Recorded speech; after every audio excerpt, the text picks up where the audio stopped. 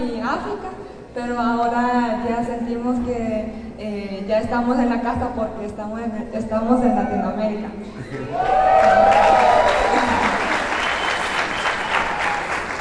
como que, eh, pues por todo lo que se está haciendo en el mundo, uno podría percibir que una reunión así podría ser algo como que nos fortalece a nosotros y nada más. Pero creo que nos tenemos que dar cuenta que esto que se está haciendo aquí en Guatemala, esta cumbre juvenil, es algo que no solamente está salvando a Latinoamérica y los países presentes, sino que está formando un precedente y un camino abierto para que lo sigan todas las naciones. Así que de verdad yo pienso que es importante que nos demos cuenta de eso, ¿verdad? Amén, amén. Y estamos, estamos gozosos porque, porque eh, nosotros hemos estado en Guatemala, pero Dios permitió eh, regresar aquí y le doy gracias a Dios porque porque Él permitió para compartir este, este momento muy importante con ustedes también eh, para los hermanos que han ordenado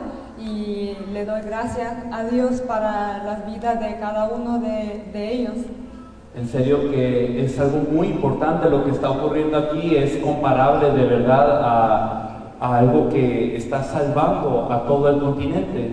Pues puede ser que durante todo este trayecto hemos estado ocupados compartiendo unos con otros, hemos estado enfocándonos en la palabra, hemos estado queriendo escuchar la voz de Dios, tal vez luego nos pueda decir qué le habló el Señor, porque luego no lo dijo cuando pasó acá, pero de verdad que hemos estado ocupados tantos que quizás sea importante recordar todo lo que se ha estado haciendo en este lugar. Por ejemplo, no sé si se habían dado cuenta, pero es la primera vez que tantos países de Centroamérica se unen en un lugar para evangelizarlo todo. Por ejemplo, aquí vemos a casi todos los países de Centroamérica. Vemos, obviamente, al país de Guatemala, vemos a muchos salvadoreños, están los representantes de Honduras, está Costa Rica, que durante mucho tiempo habíamos estado orando por ellos, Panamá también de igual manera. Bueno, Solo nos faltó Belice, ¿verdad? Pero yo pienso que ya va a llegar el momento en donde todo esto se dé y estamos viendo cómo es que todos estos países unánimes están entrando a una región y están salvando a toda esta región. Me recuerdo mucho de Hechos capítulo 19, en donde esto era lo que ocurría en Asia, que se llenaba toda una región del Evangelio. Amén. Y Gracias a Dios porque en esta cumbre, a través de esta cumbre, eh, Dios nos mostraba que, que, Él está usando todo, todo, eh, todas, todas las personas, aunque eh, no, tiene, no tiene mucha edad o no tiene oficio, o porque está utilizando los niños y los ancianos también. Y Dios le doy gracias porque Dios está haciendo su obra él mismo está haciendo su obra. De verdad que es algo muy impresionante lo que estamos. Yo pienso que eh, en mi caso, personalmente, y se los comparto de esta manera, eh, a mí me parecía que el volver a Guatemala era como volver a casa. Pero no solamente porque nos sentimos muy cómodos en Latinoamérica, sino porque también el mensaje que se está proclamando constantemente en Guatemala es que Jesús es el Cristo. Como les hemos contado, eh, de verdad que en Europa se están abriendo puertas y en África se están abriendo muchas puertas y en Asia también, pero se está levantando en este momento. Y durante el tiempo de poder atender a todas estas personas, como que el Señor nos mostraba que de verdad, aunque el mensaje estaba siendo compartido, como que nosotros no nos llenábamos del mensaje. Como que parecía que compartíamos que Jesús es el Cristo, pero nosotros no creíamos que Jesús es el Cristo. Pero al llegar aquí a Guatemala, en lo personal, fue una bendición muy grande porque el mensaje siempre ha sido el mismo. Y los hermanos de Guatemala, aunque un año atrás nos fuimos a México para ayudar a México, era como que si no hubiera pasado un día de no vernos. Seguían igual en el mismo mensaje, profundizando en el mismo mensaje. Y eso nos dio vida a nosotros. Eh, en lo personal y como equipo coreano. Amén. Amén. Y ahora eh, nosotros queremos eh, escuchar algún testimonio de tres personas eh, Dios, la respuesta que Dios le permitió en este tiempo de la cumbre juvenil. Y aquí en los nombres de los países. Y yo quiero pedir al pastor Mario para escoger uno. Vamos a, hacer eh, una cosa, cuando se diga el país que fue, pues que, que, pues, que salió aquí, nos gustaría que un representante de los jóvenes pudiera salir, el que quisiera. Idealmente uno que no haya compartido hasta el momento para que podamos escuchar cómo el Señor le ha hablado. Pero nos gustaría que pasara y le vamos a hacer un par de preguntas que nos gustaría que nos respondiera. La primer, el primer país es El Salvador. El Salvador, por favor, algún joven del Salvador que le gustaría pasar a compartir lo que el Señor le ha dado.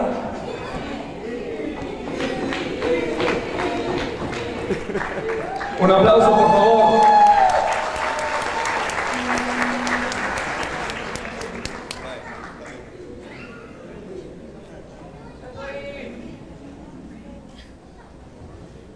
Bien. ¿Sí? Bueno, antes de que usted nos cuente cómo le ha hablado el Señor a través de todo esto que ha vivido, aunque claro que tuvo que estudiar por los exámenes, ¿verdad? Entonces, pero eh, antes de eso, nos gustaría eh, pues preguntarle una pregunta. No vamos a preguntarle pues, cuántas rayas tiene el tigre ni nada de eso, pero eh, le queremos preguntar qué mensaje a usted le impactó durante todos los mensajes que se fueron exponiendo y qué respuesta dio el Señor a eso.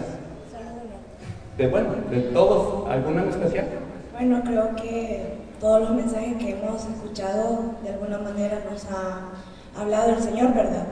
cada quien conforme a lo que ha escuchado la voz del, Señor, pues, pero para mí siempre ha sido un poquito de todo.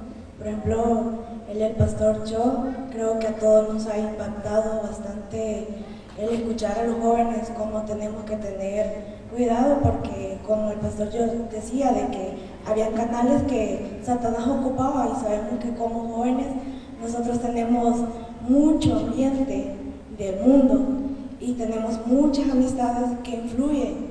Tenemos personas, amigos, que a veces se burlan de uno, de uno porque creen que estamos locos por ser jóvenes, entre paréntesis, para ellos religiosos, cristianos, pero realmente a mí me ha, ha impactado porque yo soy una de las personas que estudio en la universidad y esto ha sido como una fuerza para mí para poder compartir el Evangelio en toda mi universidad, incluso hasta los que me dan clases a mí.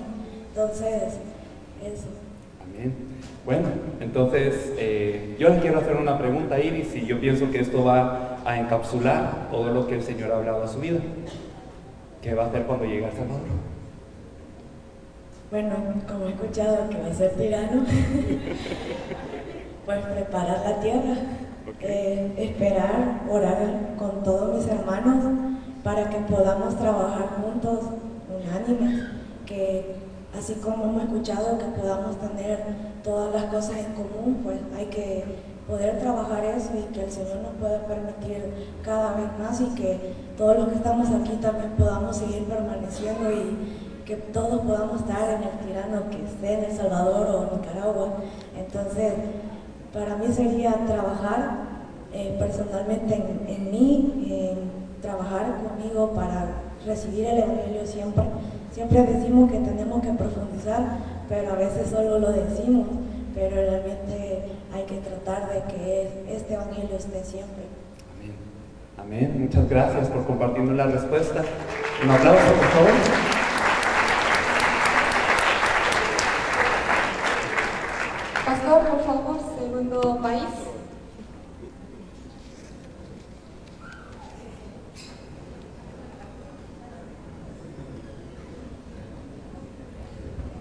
Segundo país es Guatemala.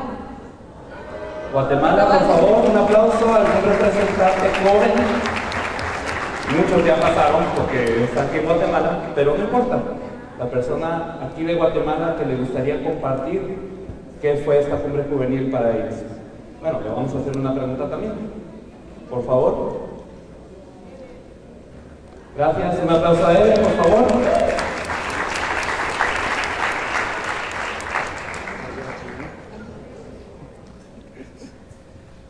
Buenas tardes a todos. Buenas tardes. Eder.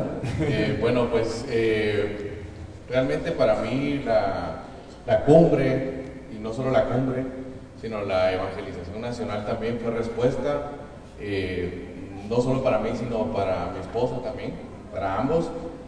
Creo que algo impactante fue que, eh, lo comenté con algunos, pareciera ser que como que eh, se hubieran puesto de acuerdo eh, los que nos compartieron la, la palabra, los hermanos, los pastores que nos compartieron la palabra, porque desde el inicio eh, me pude dar cuenta que iba un solo hilo argumentativo, iba una línea en la que cada, cada prédica, cada palabra que nosotros recibíamos, iba haciendo la secuencia de la anterior y, y se iba unificando todo en un mensaje.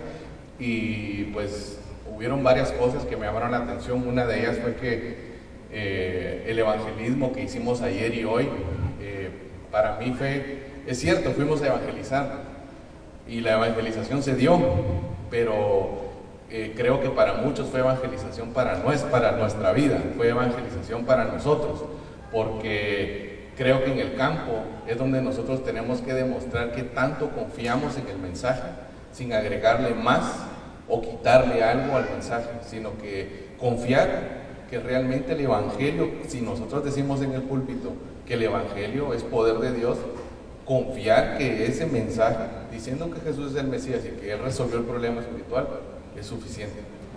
Y que todos debemos de tener una unidad para hacer la evangelización. Amén. Bueno, Ever, antes de que usted se vaya, yo le quiero hacer la pregunta.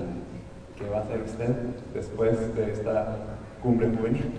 Bueno, primero que nada, pues pedirle al Señor que cada día pues haya un anhelo ferviente por ver su venida en nuestros días, que con su Santo Espíritu nosotros podamos ser guiados.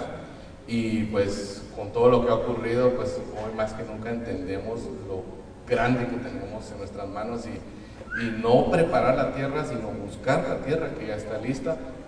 Y como vimos hoy en la mañana, que esa tierra lista seamos nosotros, ¿verdad? Amén. Muchas gracias, Ever. Va a seguir corriendo en Guatemala, a pesar de que él se levanta a las 5 y termina su trabajo a las 6 y después va al movimiento de la palabra y ya regresa muy tarde a las 11 y vive así compartiendo el Evangelio de la Biblia. Vamos a tener a una persona más, por favor.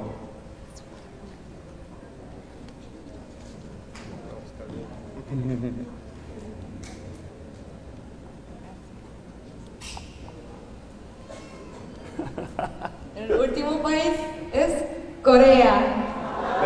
한국 중에 네, 네. 혹시 그 컴프레 중에 한 가지 나누고 싶은 것이나 하나님께서 응답을 허락하신 것이 있으면 네. 가능하면 청소년, 청년 중에 한 명 나와서 나눠주시면 감사하겠습니다. 두려워하시지 말고요. 네, 한 분이 일어나 주셨으면 좋겠습니다. 어? 오!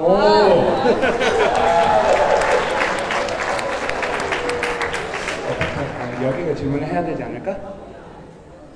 어, 여기가 질문하고 내가 통역을 할게. 어, a interpretar, no se preocupen.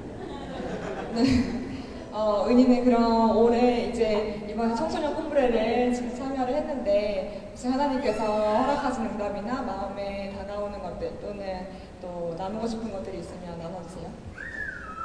네, 네 여기. 이제 어, 한국에서도 공부를 진행을 했었는데요. Eh, también en Corea tuvimos la cumbre.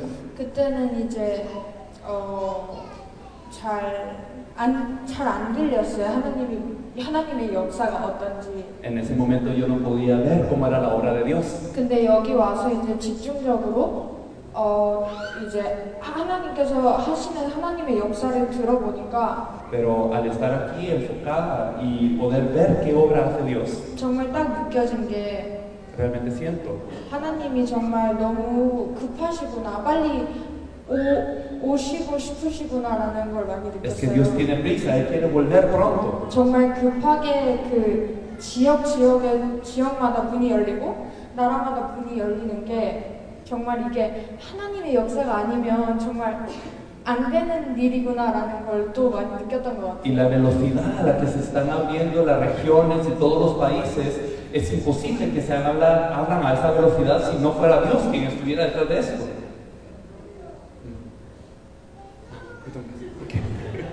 자 그러면 어, 이전에 그 앞에 나온 사람들에게도 동일한 질문을 했는데 은희는 그럼 이제 이 청소년 꿈레가 마무리되고 이제 한국으로 돌아갈 때 무엇을 하실- 할 것인가?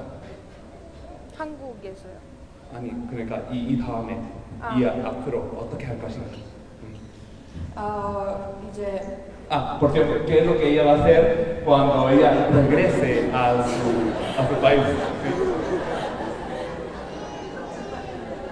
이제 이제 아 여기서 이제 할 때 어제도 그렇고 되게 어 하나님께 질문을 많이 하기 시작했던 것 Creo 같아요. que empecé a preguntarle mucho a Dios a día de hoy, 정말 제가 왜 믿어야 하는지, porque yo tengo que creer, 예수 그리스도를 왜 믿어야 하는지, porque tengo que creer en Jesucristo, 왜 깨달아야 하는지, porque tengo que percatarme, 왜내 삶을 걸고 그 복음을 정말 세상에 목숨을 걸고 전파해야 되는지, porque yo tengo que dar mi vida para predicar este evangelio a todo el mundo. 그걸 되게 많이 많이 물어보게 된 것 같아요. Creo que pregunté mucho eso.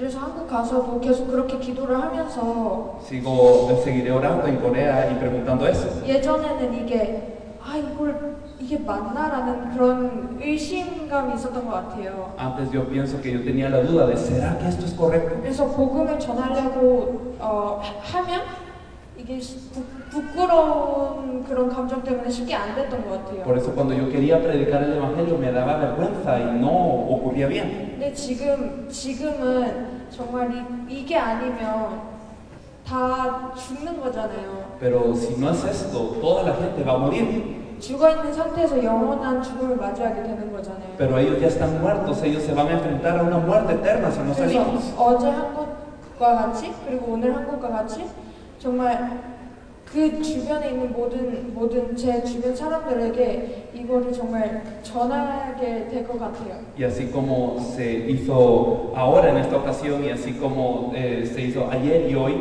yo quiero compartir esto a todas las personas que están alrededor mía. 아멘. Amén. 감사합니다.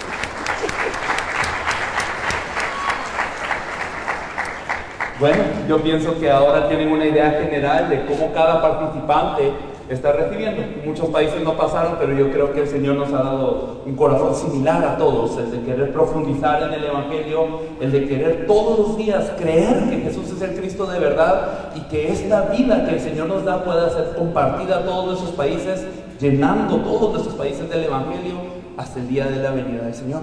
Amén.